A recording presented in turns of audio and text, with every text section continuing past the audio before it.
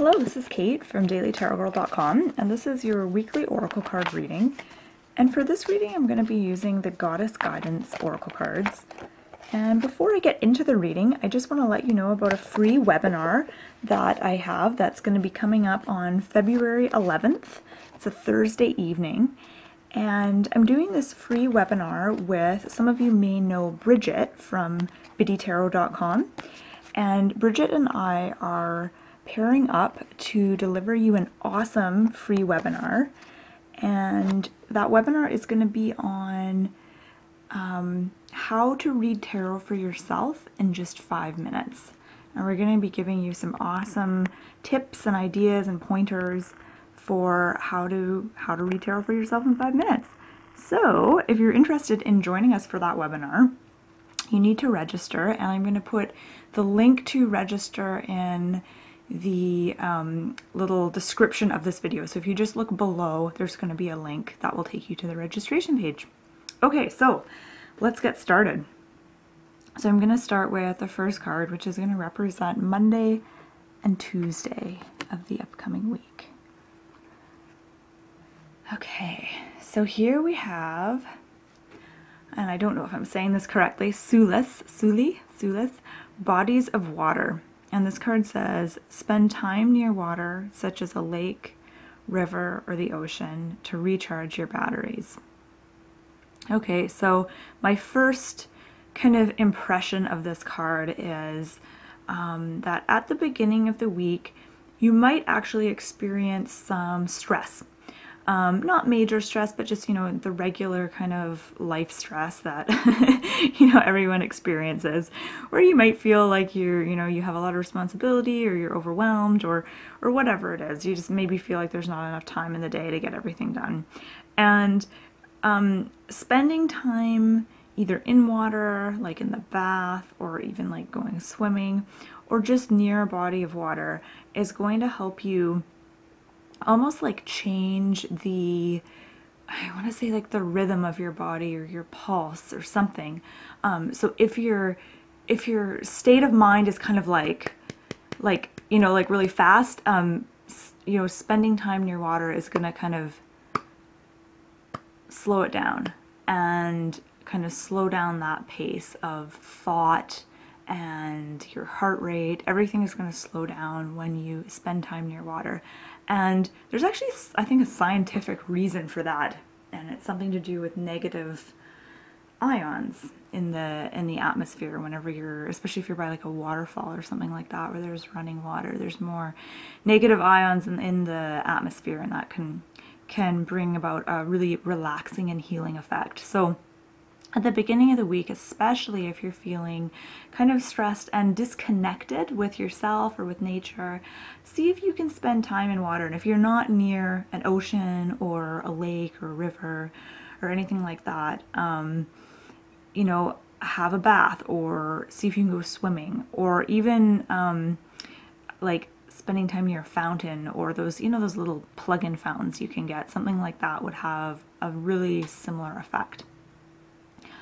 Okay, um, moving on to the middle of the week. So Wednesday and Thursday. Oh, I love this card. Okay, so we have Pele, Divine Passion, and this card says, Be honest with yourself. What is your heart's true desire?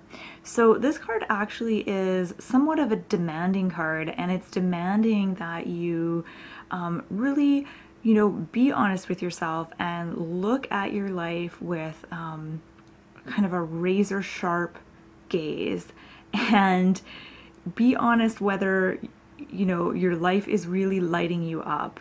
You know are you doing what you feel passionate about doing? Like do you really believe in what it is you're doing whether that's your job or hobbies or whatever? However it is that you spend your time and what what is it that you are investing energy in? You know how are you how are you dedicating your life and are you dedicating it to a job that you don't really care about that doesn't really light you up you know are you just kind of going through the motions you know what's what's going on there um, and i feel like this card has kind of um, it's shown up this week because i feel like it's asking you to demand more out of life or demand more out of yourself. I guess that's more accurate way to, of putting it.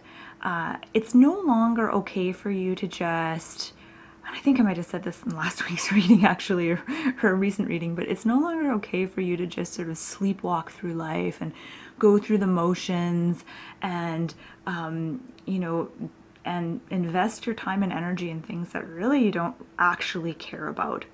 That's no longer an acceptable way for you to live anymore and that can be um, kind of scary because if you know if that's a way of life that you've been living for a long time and if you look around you and see that everyone else you know is kind of living that same sort of life or you know you have a job that you hate or or whatever it is um, this can be kind of a challenge. So the challenge this week really is to get in touch with yourself and find that spark that fire and figure out you know what is it that i'm really passionate and fiery about? And if you already know what it is um, you know ask yourself am i living that passion? Am I am I doing something about this? Am I, you know, putting my energy uh, and time towards this thing that I'm passionate about, or is it just on the back burner and I just sort of think about it every now and then? So just being really kind of honest with yourself. And then as you get to the weekend, Friday, Saturday, Sunday, oh lovely, we have Artemis, Guardian. And this card says, you and your loved ones are safe and spiritually protected. This card I find will come up in a reading when when you're feeling either vulnerable or scared for some reason. And this isn't really about being scared about your actual physical safety, um, but just going back to the center card, there's something really scary about being honest with yourself and there's something scary about making the decision to devote your life to something that you're passionate about and something that's really important to you. Um, and sometimes we don't feel safe in doing that because we feel like there's a lot of risks involved. Um, and, you know, sometimes following our life's passion isn't necessarily going to be immediately financially rewarding. There might be a lot of uh, unknowns and, you know, a, a lot of risks that you need to take. You might need to have a lot of trust and a lot of faith in yourself. And all of that can make you feel really vulnerable and it can be really scary. And it can feel like you're being forced outside of your comfort zone. And so this card of Artemis, I feel like she's shown up to let you know that you're safe, even if you feel like you aren't safe. So even if you feel like, you know, even if you're feeling vulnerable or you're feeling like you're too out too far outside your comfort zone, Artemis is there to kind of remind you that you know you're you're spiritually protected, you're being you're being guided and it's okay. Just, you know, take a deep breath.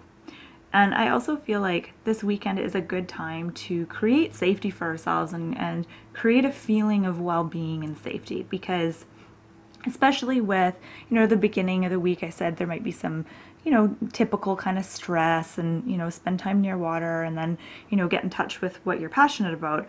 All of that takes an immense amount of work and sometimes, you know, you are forced outside your comfort zone. So when the weekend comes, it's important to really kind of nourish yourself and do things, do activities that make you feel safe and and protected whatever that is for you. So like comfort things you know. Um, and i'm thinking of the things that i like to do that make me feel safe. Like snuggling up on the the couch and reading a good book. Um, you know there's certain meals and foods that are just like comfort foods.